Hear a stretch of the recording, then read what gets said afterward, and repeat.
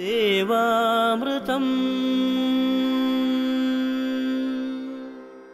ഇന്ന് ആയിരത്തി ഒരുന്നൂറ്റി തൊണ്ണൂറ്റി മൂന്നാം ആണ്ട് കർക്കടക മാസം മൂന്നാം തീയതി അതായത് രണ്ടായിരത്തി പതിനെട്ട് ജൂലൈ മാസം പത്തൊൻപതാം തീയതി. ഇന്ന് വ്യാഴാഴ്ചയാണ് നക്ഷത്രം ആദ്യം നാല് നാഴിക അത്തവും ബാക്കി ചിത്തിരയുമാണ്.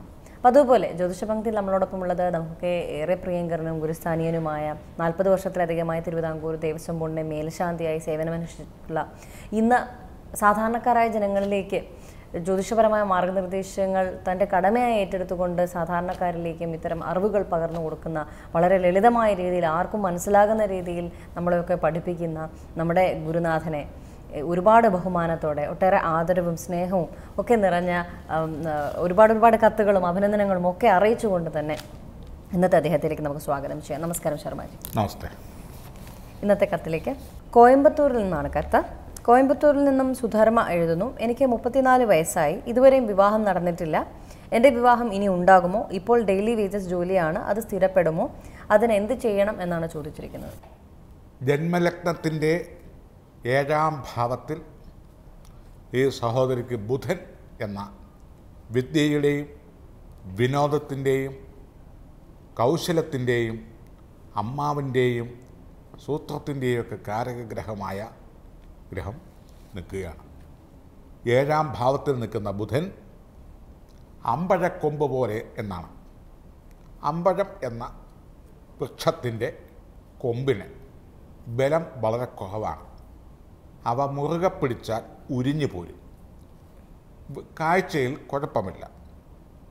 അമ്പഴക്കൊമ്പ് പോലെ നിൽക്കും ബുധന്റെ ദശാകാലം അല്ലെങ്കിൽ വിദ്യാകാരകനായ ബുധൻ ഒരു വിവാഹം ഉറപ്പിച്ചു വന്നു എന്ന് പറഞ്ഞതുകൊണ്ട് അത് വിവാഹത്തിലേക്ക് കലാശിക്കും എന്ന് പ്രതീക്ഷിച്ചിരിക്കാൻ പറ്റുകയില്ല കാരണം എപ്പോഴും വിവാഹമൊക്കെ മുടങ്ങിപ്പോകാനും വിവാഹ നിശ്ചയം തന്നെ മുടങ്ങിപ്പോകാനും വിവാഹത്തിന്റെ തലേനാൾ അതുപോലെ അടുത്ത് വരുന്ന മംഗല്യകർമ്മം അടുത്ത് വന്നുകൊണ്ടിരിക്കുന്ന സമയങ്ങളിൽ എന്തെങ്കിലും അനിഷ്ടങ്ങളൊക്കെ വന്ന് അല്ലെ തെറ്റിദ്ധാരണകൾ വന്ന് അല്ലെങ്കിൽ മറ്റേതെങ്കിലും ബന്ധങ്ങൾ മുറുകി അതല്ലെങ്കിൽ കുടുംബക്കാർ തങ്ങളിലുള്ള അഭിപ്രായ വ്യത്യാസം. ഇങ്ങനെ വിവാഹ നിശ്ചയത്തിന് ശേഷം വിവാഹത്തിന് മുൻപായി ഏതെങ്കിലും നമുക്ക് സഹിക്കാൻ മേലാത്ത ദുഃഖങ്ങളൊക്കെ വന്ന് വിവാഹമൊക്കെ വേണ്ട എന്നൊക്കെ വെക്കാൻ പറ്റിയ ഒരു സാഹചര്യങ്ങളും അല്ലെങ്കിൽ മുറുകി മുറുകി വരുന്ന വിവാഹാലോചനകൾ ചെറിയ ചെറിയ കാരണങ്ങൾ വന്ന് നിഷ്പ്രയാസം മാറിപ്പോകുന്ന കാര്യങ്ങളൊക്കെയാണ് ഏഴിലെ ബുധൻ അമ്പഴക്കൊമ്പ് പോലെ എന്നർത്ഥം. അതിന്റെ കൂടെ കണ്ടകശനിയും കൂടെ നിൽക്കുക മിഥുന രാശിക്കാർക്ക്. മകേരം തിരുവാതിര പുണർതം ആദ്യത്തെ മുക്കാൽ നാഴിക മിഥുന രാശിപ്പെട്ടവർക്ക്. ഏഴാം ഭാവത്തിൽ ശനി നിൽക്കുന്ന കാലമാണ്. ജാതക നിലയിൽ ഈ സഹോദരിക്ക് ബുധൻ നിൽക്കുകയാണ് മിഥുന ലത്വവുമാണ് മിഥുന രാശിയുമാണ്.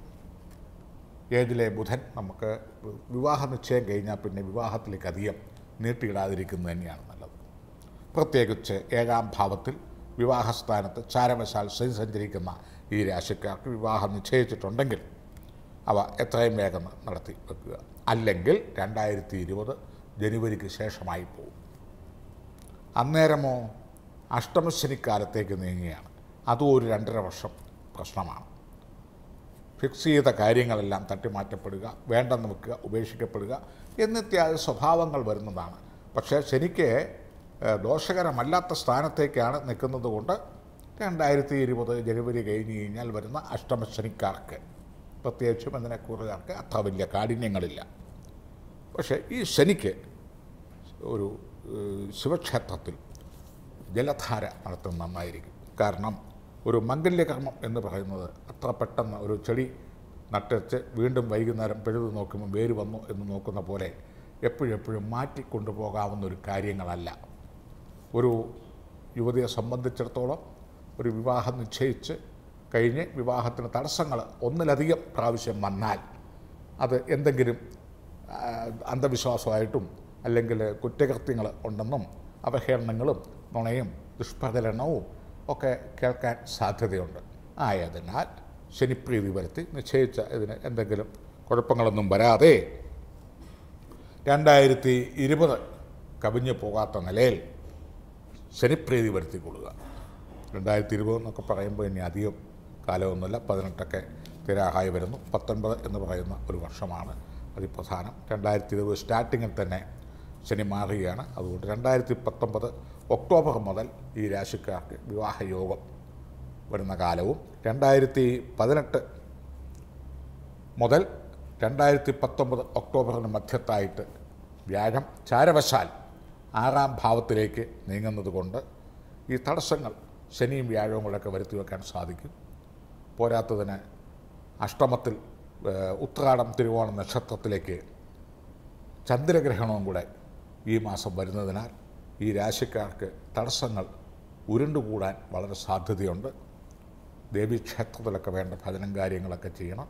വരും എപ്പിസോഡുകളിൽ ചന്ദ്രഗ്രഹണം ഏതെല്ലാം രാശിക്കാർക്ക് ഏതെല്ലാം തരത്തിലുള്ള ദോഷങ്ങളും ഗുണങ്ങളും ഉണ്ടാവും എന്നുള്ളത് പൊതുവേ പ്രസ്താവിക്കുക. ഏതായാലും ഈ രാശിക്കാർക്ക് അഷ്ടമത്തിൽ ഗ്രഹം ഗ്രഹണം വരുന്ന സമയമാണ്. വളരെ ആരോഗ്യം ഒക്കെ വളരെ സൂക്ഷിക്കണം. ഗർഭിണികൾ വളരെ ശ്രദ്ധിക്കണം. കശപിശയിൽ നിൽക്കുന്ന ദമ്പതികൾ സൂക്ഷിക്കണം. ഡൈവോഴ്സിലേക്ക് കേസ് കൊടുക്കാൻ പോകുന്ന ആളുകൾ സൂക്ഷിക്കണം. വിവാഹം ഉറപ്പിച്ചു വെച്ചവരൊക്കെ ശ്രദ്ധിക്കണം. അതുപോലെ ജോലിക്കായിട്ട് മെമ്മോയൊക്കെ വന്നവരും ജോലിക്കായിട്ട് വിദേശത്തേക്ക് പോകുന്നവരൊക്കെ എല്ലാം ഒന്ന് പുനഃപരിശോധനകൾ ചെയ്യേണ്ടതും അവനവന്റെ കൃത്യതകൾ പാലിക്കേണ്ടതുമാണ്. ജലാഭിഷേകം ശിവന് ചെയ്യുക അതോടെ പഞ്ചബ്രഹ്മ മന്ത്രാദികൾ ജപിക്കുന്നതും നല്ലതാണ്. കാരണം ഉരുവിടുന്നത് കഴിവതും ആഹാരം ഒന്നും കഴിക്കാത്ത സമയങ്ങളിൽ അതുപോലെ സസ്യാഹാരാദികളൊക്കെ ഉള്ള ദിവസങ്ങളിലൊക്കെ ചെയ്യുക. രണ്ടായിരത്തി ഇരുപതിന് ജനുവരിക്ക് മുൻപായി വിവാഹം നടക്കും. രണ്ടായിരത്തി പതിനെട്ട് ഒക്ടോബർ മുതൽ വിവാഹ കർമ്മങ്ങൾ ആലോചനകൾ ധാരാളമായി വരും. ഏഴിലെ ബുധൻ അമ്പഴക്കൊമ്പ് പോലെയും ധരിക്കുക. ആയതിനാൽ ഏതിനും ഒരു പൂർണ ബലത്തോടെയുള്ള ഉത്തരവാദിത്വം സകല ഉറപ്പുകളിലും വരുത്തണം.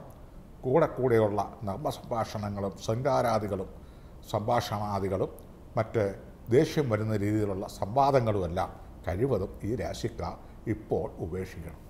ജ്യോതിഷ പങ്ക്തിയുടെ ഇന്നത്തെ അധ്യായം ഇവിടെ പൂർണമാവുകയാണ്. ജ്യോതിഷപരമായ മാർഗനിർദ്ദേശങ്ങൾ ഡോക്ടർ കുടമാളൂർ ശർമാജിയിൽ നിന്ന് അറിയുവാൻ ആഗ്രഹിക്കുന്നവർ താഴെ കാണുന്ന നമ്പറിൽ അദ്ദേഹത്തെ കോൺടാക്ട് ചെയ്യുക പ്രശ്നപരിഹാരങ്ങൾ ചോദിച്ചു മനസ്സിലാക്കുകയും അനുവർത്തിച്ചു വരികയും ചെയ്യുക. ഗുണഫലങ്ങൾ ഉണ്ടാകട്ടെ എന്ന് ആശംസിക്കുന്നു.